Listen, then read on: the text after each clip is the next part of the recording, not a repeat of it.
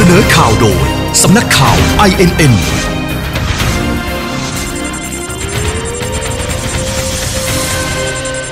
พักพลังประชารัฐเร่งคุยพักร่วมทำนโยบายรัฐบาลมั่นใจไร้ปัญหา ไม่กังวลฝ่ายค้านเริ่มโจมตีกดดันนายธนกรวังบุญคงชนะรองโฆษกพักพลังประชารัฐเปิดเผยกับสำนักข่าว INN ถึงความคืบหน้า ในการเตรียมทำนโยบายของรัฐบาลว่า นายสนธิรัตน์สนธิจิรวงเลขาธิการพักและนายสุวิทย์เมสินทรีรองหัวหน้าพักได้มีการประชุมหารือร่วมกับทุกพักอย่างต่อเนื่อง และมีความคืบหน้าไปมากแล้ว แต่ยังไม่แล้วเสร็จและมั่นใจว่าจะไม่มีปัญหา ส่วนเรื่องนโยบายของพรรคประชาธิปัตย์และพรรคภูมิใจไทยที่แตกต่างจากของพรรคพลังประชารัฐ ก็มองว่ามีหลายนโยบายที่ไปด้วยกันได้ ส่วนนโยบายที่แตกต่างกันก็จะต้องหารือร่วมกันเพื่อหาจุดร่วมที่จะสามารถทำงานร่วมกันได้ทางนี้เมื่อถามถึงความกังวลกรณีที่พักฝ่ายค้านเริ่มมีการโจมตี ทั้งยังทวงถามเรื่องนโยบายค่าแรงขั้นต่ำและราคาสินค้าเกษตรกรรม รองโฆษกพักพลังประชารัฐกล่าวว่า ทางพักไม่มีความกังวลแต่อย่างใด เชื่อว่าเมื่อรัฐบาลใหม่ทำงานเต็มตัว จะให้ความสำคัญกับเรื่องดังกล่าว และสามารถขับเคลื่อนนโยบายดังกล่าวได้อย่างแน่นอน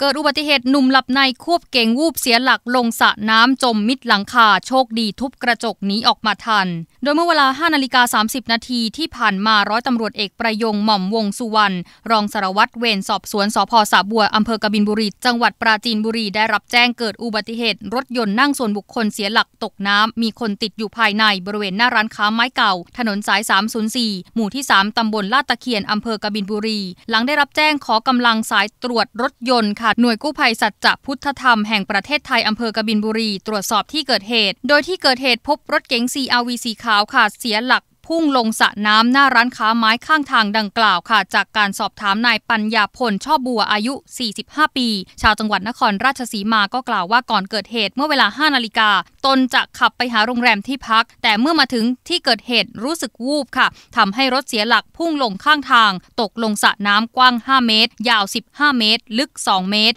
รถลอยอยู่ในสระน้ำหลังเกิดเหตุก็ได้ตั้งสติค่ะรีบกดปุ่มลดกระจกลงได้เล็กน้อย และรีบทลาตัวออกมาจากรถ แล้วคว้ากระเป๋าของใช้ส่วนตัว 1-2 ชิ้น ไม่ได้รับบาดเจ็บแต่อย่างใด โดยนายปัญญาพลกล่าวเพิ่มเติมด้วยว่าเดินทางมาคนเดียวนับว่าโชคดีที่ไม่ได้รับบาดเจ็บ แต่ยอมรับเขาว่าเหตุการณ์ครั้งนี้ เกิดจากการง่วงแล้วขับค่ะปิดท้ายกันที่ประธานสภาผู้ส่งสินค้าทางเรือหวังว่าการประชุม G20 จะลดความรุนแรงสงครามการค้า ชี้แนวโน้มสหรัฐรีดภาษีจีนรอบใหม่ยังคงมีสูง นางสาวกัญญพักตันติพิพัฒพงศ์ประธานสภาผู้ส่งสินค้าทางเรือแห่งประเทศไทยหรือสรท เปิดเผยกับสำนักข่าว INN ว่า การประชุมสุดยอดผู้นำชาติ G20 ที่นครโอซาก้าประเทศญี่ปุ่น ซึ่งมีกำหนดระหว่างวันที่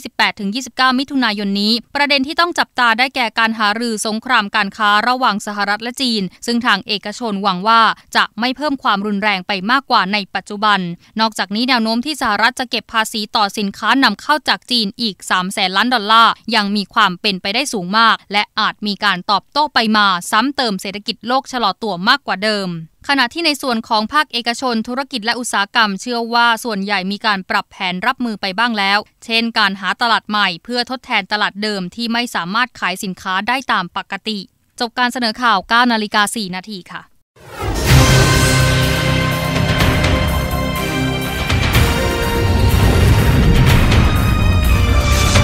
นอข่าวโดย สำนักข่าว INN